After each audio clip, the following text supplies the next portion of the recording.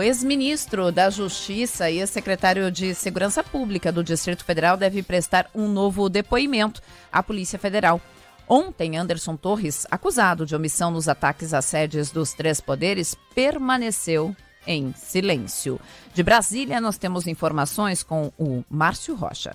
O ex-ministro da Justiça e Segurança Pública do governo de Jair Bolsonaro, Anderson Torres, vai prestar um novo depoimento na próxima segunda-feira, depois que ficou em silêncio na primeira oitiva feita pela Polícia Federal.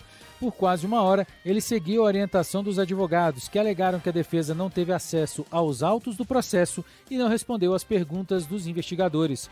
Por isso, um novo depoimento foi marcado no inquérito que apura se o comportamento de Anderson Torres durante as manifestações do dia 8 de janeiro foi omisso.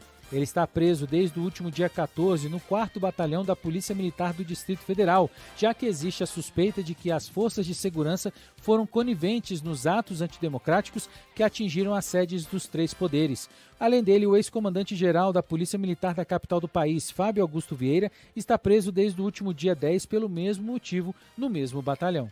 É, é, tem muito a explicar. O Anderson Torres, obviamente, ele utilizou o seu direito de permanecer em silêncio ontem.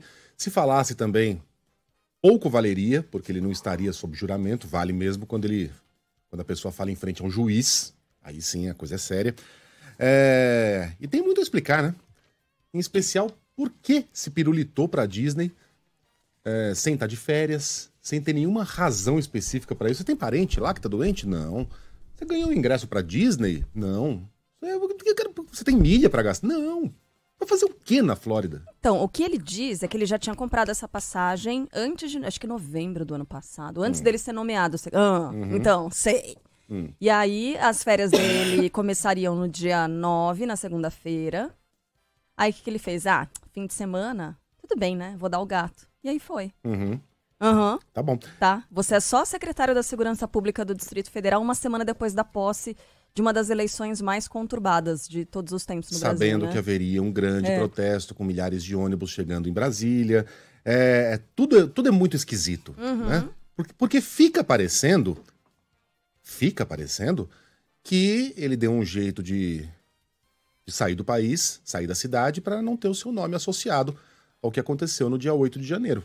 É o que fica parecendo. Né? É o que os elementos nos levam a crer que aconteceu. Mas enquanto o Anderson Torres não falar, enquanto as investigações, até pela minuta, né, a, a história do, do, do, documento lá de, de, de, reversão do resultado da eleição, tudo é esquisito. Enquanto ele não falar, enquanto as investigações não forem concluídas, a gente não pode é, se apressar aqui na conclusão. A gente não pode ser assodado também, mas é o que fica aparecendo. E é por isso que a gente quer tanto que o Anderson Torres explique, Anderson Torres explique aquilo que tem de ser explicado.